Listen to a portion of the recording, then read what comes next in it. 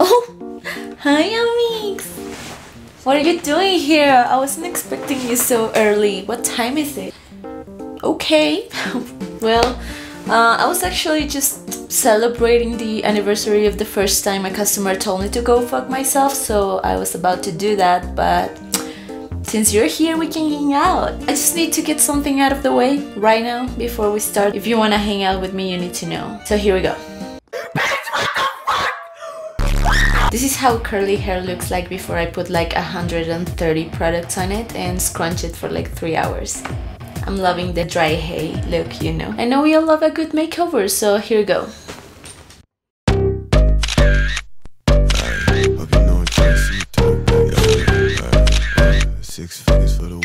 So, did I bring it? I think I brought it.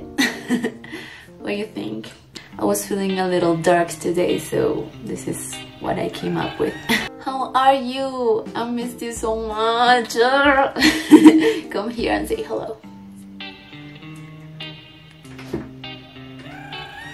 Amix, I have so much to tell you today. First, I want to talk about my very promising drawing career that I left when I was like 16 because I realized I suck at it.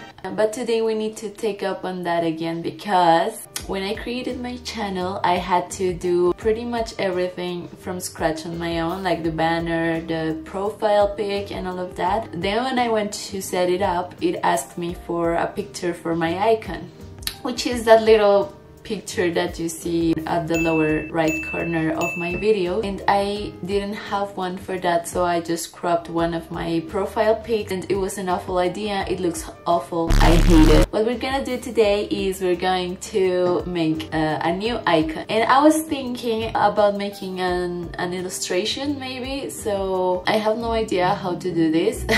So for today I thought um, if I want to make an illustration I think Illustrator would be the best I don't know about programs and I'm not gonna look into it very much because I don't have that much time um, so I'm just going to go download that in a very legal way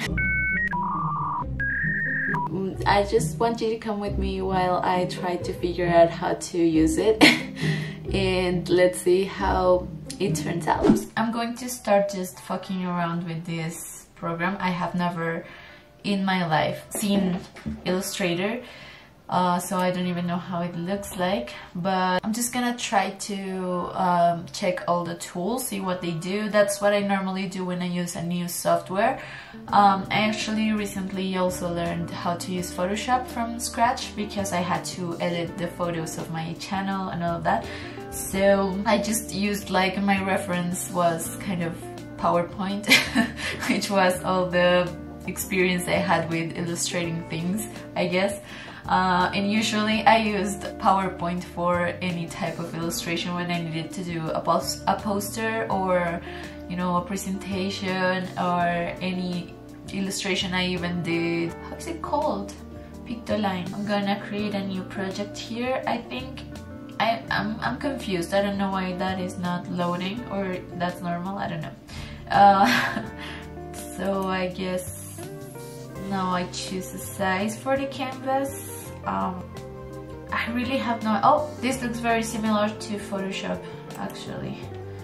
So I have no idea where to start. At first if you can guess what I'm going to do I want to do of course a passion fruit. Uh, but I was actually thinking that it would be much more beautiful if I did the flower because I mean that's just I mean this plant is just perfect. Like literally the fruit tastes like heaven. It has the most beautiful and aromatic flower in the earth. I actually have a tattoo of it because I love it so much. Uh, I like this picture. Maybe we can uh, of course I'm not going to use the picture from someone else. I'm just going to use it kind of a, like a template. I'm not sure if you can do this in Illustrator but but I would like to just upload it and use it like uh, just take the edges off uh, and use them like kind of as the crux of my drawing, my illustration. I don't know if that's possible. So it was just as I thought. Um, from the videos I watched, I gathered that we need to use like the pen tool. I think it's this one.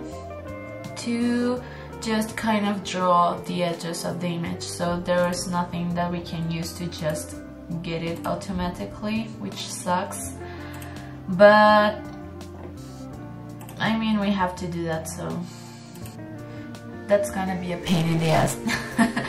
I can already see me losing my mind by the end of this. So for you to get an idea of how much I don't have an idea of how to do this or how to draw or anything, I'm gonna show you uh, my first steps into drawing, which were very concerning if I may add. Being the weeb that I am, of course I wanted to draw anime or manga, better said, I think. I wanted to draw manga, so of course I started with that. When I was very very little, I don't have those drawings with me, but I used to like I used to draw like very racially uh, inaccurate and stereotypical Japanese girls you know I would draw them with like little kimonos and with the big anime eyes and like little space buns I think. I don't know why I imagined everyone in Japan used space buns with like the chopsticks on them. Anyways so here's my attempt at that. Uh, years later I just started being obsessed with drawing all my friends in anime. So this is one of those of those drawings. This was one of my best friends at the time. I was like 13 I think and yeah I just uh, I don't know what to say about it. It's just interesting. The hair I love the hair. It's just like super streaky. I remember that I would always like draw the eyes first because of course that was like the most challenging uh, or so I thought. And it was very funny because then you I wouldn't know how to make the face fit the eyes so it would be like just a mess and that's why all their faces were always like super big and just not match their body at all. Okay so I'm having trouble understanding what to do next because I did the tracing around the, the, the edges of the petals and now I have like this white shape. I don't know why it turned white. In the tutorials it didn't happen and I didn't find how to avoid that so I'm just going to create another layer and stop you know just make this invisible. And I will start doing the center of it. I'm really worried about this because I'm not sure I'm gonna be able to maybe I can make it bigger yeah I don't know if I'm going to be able to make this so it looks good. So I'm just going to try to do it as best as I can. You know see the problem is that when it starts turning white I just can't see what the fuck I'm doing so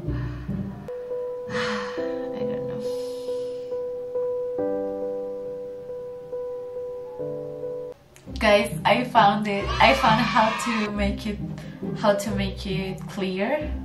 So I just needed to I just needed to click this like make it just to make it just clear.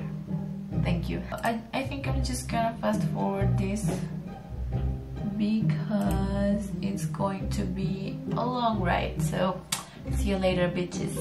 Now we have the time where I started copying drawings from the internet so I would just literally plagiarize them and then show them so proudly like I made them um, but this one I like I, it was of course it's not mine. I don't know who drew this in the beginning, but it was Marilyn Manson. I know he's super cancelled, but I was super proud of this uh, drawing.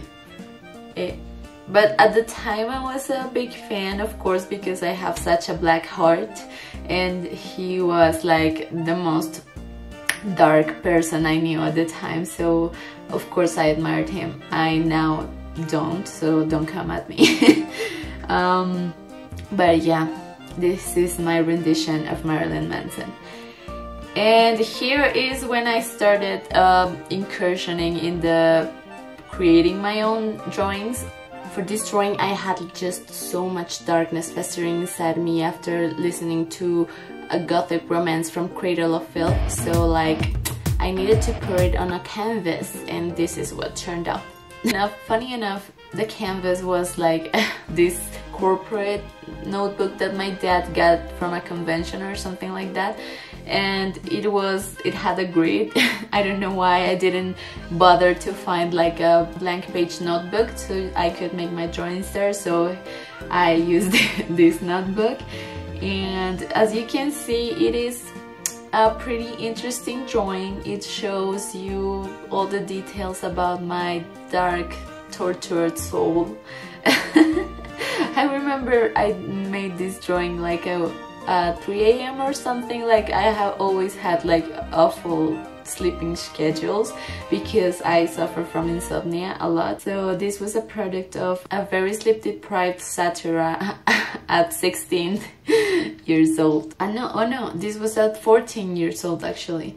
Um, yeah so you have all the all the elements you know you have to have a cross a super blasphemous message i think i got that quote from like the the satanic bible from uh, LaVey because I was obviously so much against religion at that time I was also at an all girls Catholic school so it was kind of um, you know, a cliche. I needed to go against that. I put so much pressure on the pencil to draw the edges of that cross. I don't know why, like I was so angry at religion or something like that. That was my beginning at trying to draw or illustrate. My hands are hurting so much, so I think it's time for a...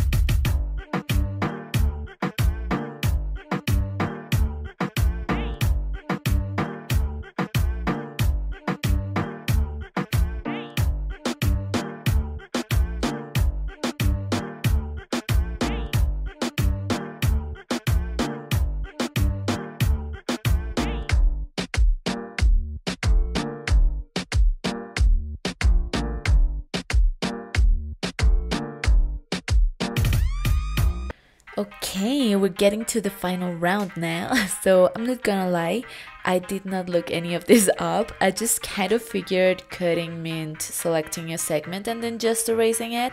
Uh, I'm not sure I did it correctly, but I just selected the scissors tool and clicked on one point, then another, and the segment was selected in red, so I just pressed delete uh, and it went away as I wanted. Uh, here I noticed the lines were looking very rough, so I tried to join them so it looked a little better.